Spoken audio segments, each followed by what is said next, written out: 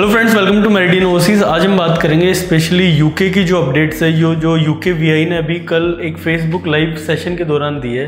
उसमें बहुत सारी अपडेट्स ऐसी है इस वीडियो के अंदर, जो सितंबर और जनवरी के अंदर जो भी स्टूडेंट ट्रैवल करना चाह रहे हैं, या एजुकेशन वीज़ाज़ के, या स्टूडेंट वीज़ा जो अप्लाई करना चाह रहे हैं, उनके लिए सारी अपडेट्स बहुत इंपॉर्टेंट है। तो इस वीडियो को आप एंड तक ज़रूर देखना, क्योंकि हो सकता है कि आपकी जो रेलिवेंट क्वेरी है, वो इसमें सोल्व हो जाए।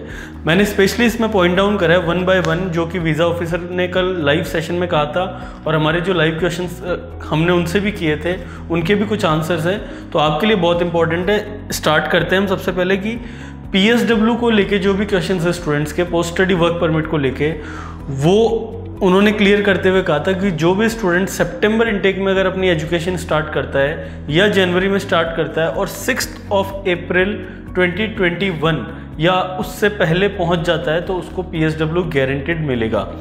यानी अगर आपने अपनी स्टडी सितंबर इनटेक में स्टार्ट करी हो या जनवरी में करी हो और किसी वजह से आप ट्रैवल नहीं कर पाए यूके आपके जो एरिया है उसमें लॉकडाउन की वजह से, या कोई भी अदर रीज़न तो आप सिक्स ऑफ़ अप्रैल तक भी अगर यूके पहुँचते हैं तो आप एलिजिबल होंगे पीएसडब्ल्यू के लिए। दूसरी अपडेट ये है कि 11 visa office are currently open including Delhi and Mumbai तो जो भी स्टूडेंट नॉर्थ इंडिया में रहते हैं, उनके लिए पॉजिटिव न्यूज़ ये है कि दिल्ली वीज़ा एप्लीकेशन जो सेंटर है, वो अभी ओपन है और आप अपनी टीयर फोर वीज़ा एप्लीकेशन वहाँ से कर सकते हैं। और सबसे इंपॉर्टेंट न्यूज़ कि यूके बॉर्डर जो है वो इंटरनेशनल ट्रेवलर्स के लिए अभी ओपन है।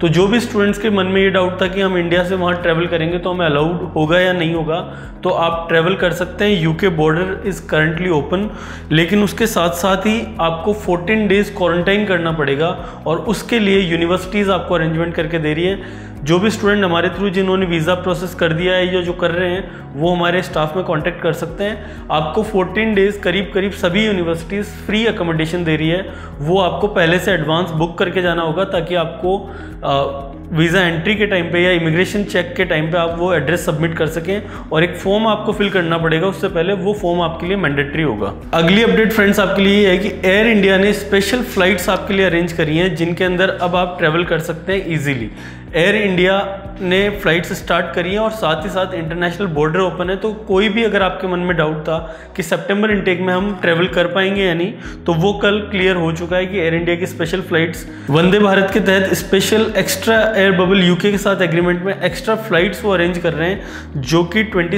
ऑफ़ अगस्त तक ट्रेवल करेंगी और उसके बाद में नई अपडेट आनी है।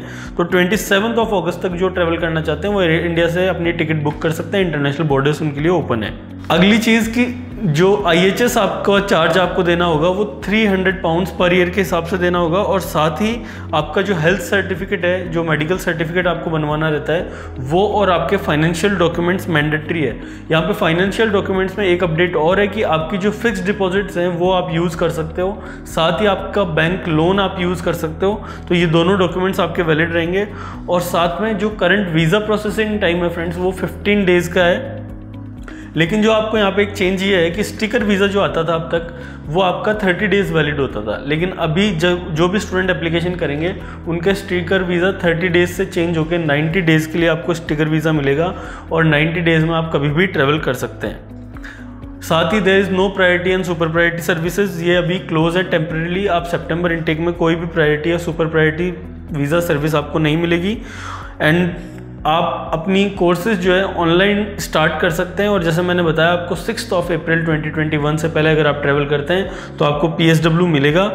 साथ ही अगर आप अपने पेरेंट्स को ले जाना चाहते हैं तो विजिटर वीज़ा सर्विसेज़ अभी ओपन है और मेंटेनेंस फंड्स में जैसे मैंने बताया, आपको एफडी और बैंक लोन लेटर आपका चलेगा। तो ये काफ़ी सारी आपकी क्वेरीज इसमें सॉल्व हो गई होंगी। अगर इसमें अभी भी आपको कोई क्वेश्चन है तो आप इंस्टेंट रिप्लाई के लिए इंस्टाग्राम कीजिए। नीचे डिस्क्रिप्शन पे लिंक दिया हुआ है, उसमें आप जाके इंस्टाग्राम पे हमें क्वेश्चन कर सकते हैं, या फिर हमें कमेंट ड्रॉप कर सकते हैं। साथ ही अगर आपकी सेप्टेम्बर इनटेक की कोई भी एप्लीकेशन बाकी है या आप प्रोसेस करना चाहते हैं तो application zero one eight meridian dot O R G पर आप ईमेल कीजिए। अदरवाइज़ आप हमारे टोल फ्री नंबर पर कॉल कर सकते हैं। अभी आपको क्या करना है channel subscribe bell icon press ताकि आपको कंटिन्यूस अपडेट्स मिलती रहे। Thank you so much and see in the next video